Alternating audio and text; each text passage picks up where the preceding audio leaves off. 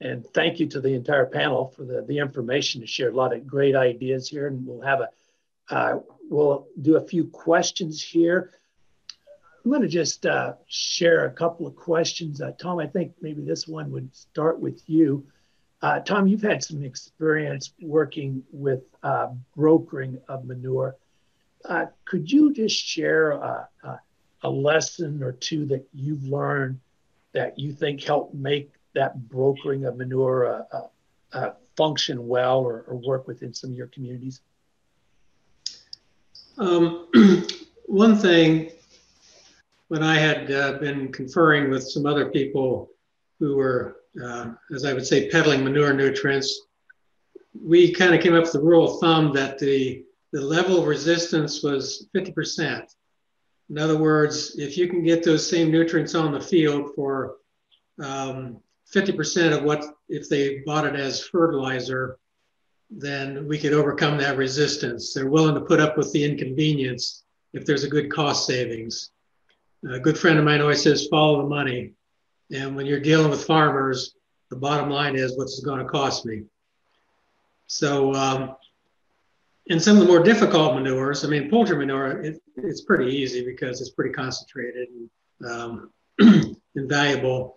But the, the other manures, like hog manures and some of the lower value dairy um, and beef manures, what we found might work well is at least trading manure for the cost of application. Because the cost of application is a big expense to the to the facility but if the recipient will at least pay for the land application of that for the nutrients then everybody comes out ahead there too. So the you know the dairy is making money um, because it's not spending money that it would have to otherwise Great, thank you for those thoughts. All right, let's move on. Um, one of the questions uh, was about some of the supplements that we put in our feed that are more for therapeutic use. Uh, they mentioned copper. Uh, I, I, imagine they're referring to antibiotics as well. Uh, are, do you have any concern about those becoming barriers to manure use uh, on uh, when we try transferring manure. And I'll look to any of the three panelists if you've got any thoughts to add to this. Well, I did, I guess I addressed it prematurely when that question came out. And what I said was that in theory, it, it could be a consideration. And when we have our anti animal agriculture people come out in force, that's one thing they bring up. But I will say, in reality, in the field, we have not seen any experience as far as uh, detrimental impacts on yields, or even with the soil health tests that we've been doing a lot over the past years. And in fact, we find the opposite, where manures have been used, we have much higher soil health readings. Um, but in comparison, we do know chemical fertilizers, especially those high in salts and others like anhydrous ammonia, you can document and see detriments to yield and soil health. So again, I think in theory, some of those things uh, might be a concern and perhaps warrants further research, but in the field, we just we see the opposite effect. Amy, do any, you have any thoughts on the antibiotic side, the use?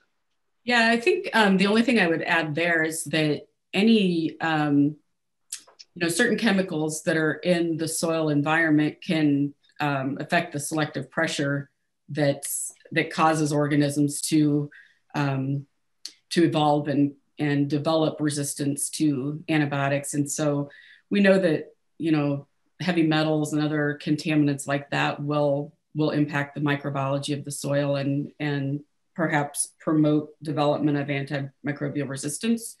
Um, but I don't know that it's. Um, I I would say that manure is less of a culprit than probably municipal waste products that contain um, probably a larger variety of synthetic chemicals.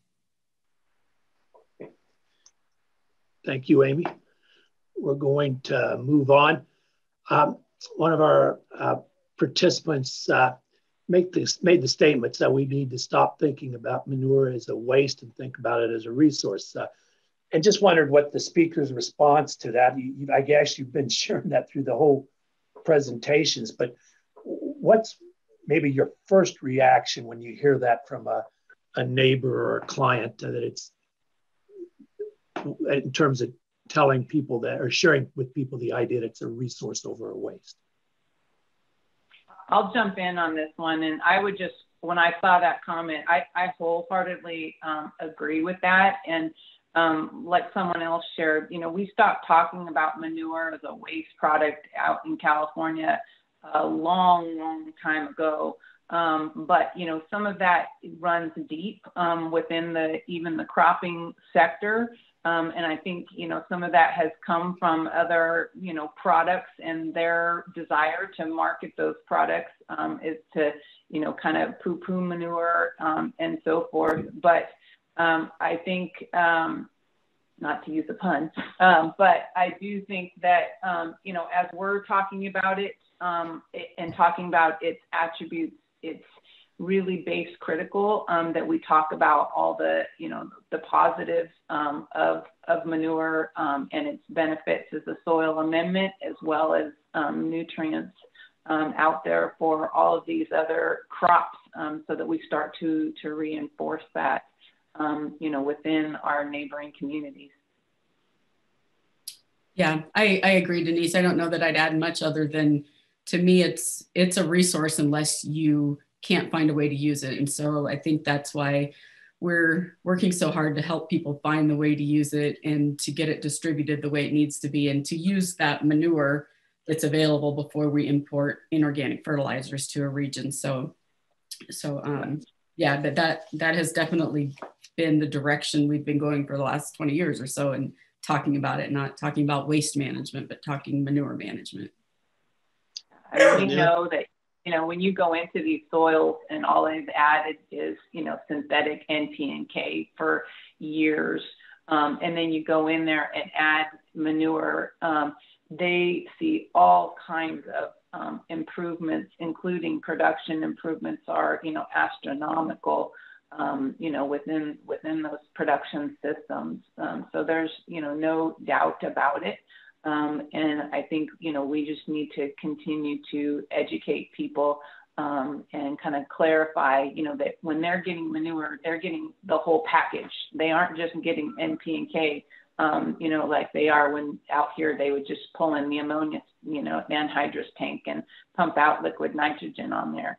Um, you know, they're getting all of the miners um, and all of that element, and that's all feeding that that soil health web.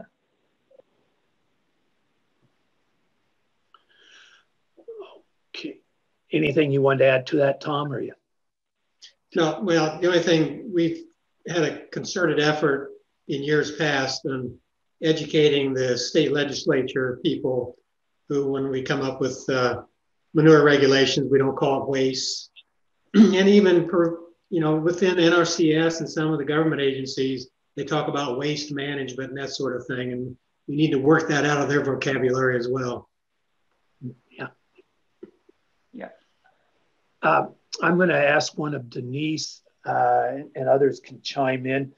Uh, we've you know had discussions over many years about technologies that'll produce a product that will be more uh, valuable to some of our neighbors. Uh, any signs or uh, a technology you're looking at that you think is going to really stand out in the next few years for you know providing a product that we'd like to see? Yeah, someone else asked that.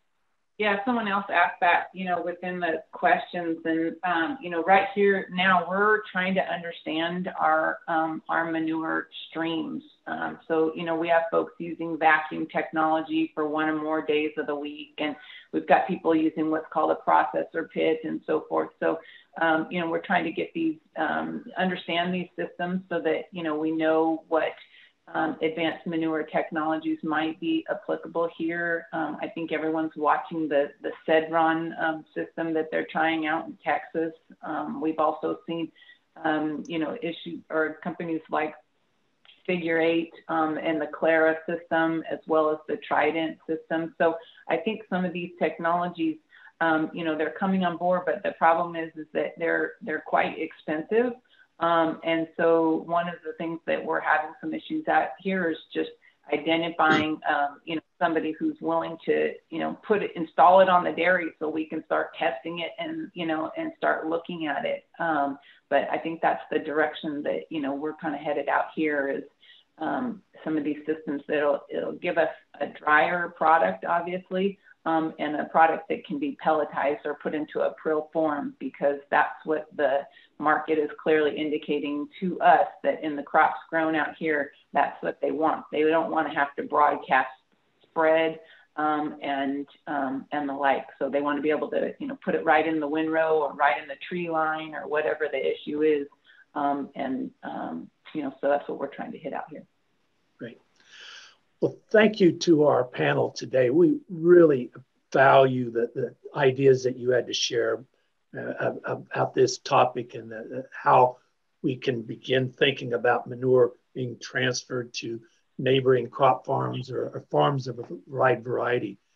Uh, the lessons you've learned in your own part of the country, I think, have been valuable to all of us. So thank you very much. I appreciate it.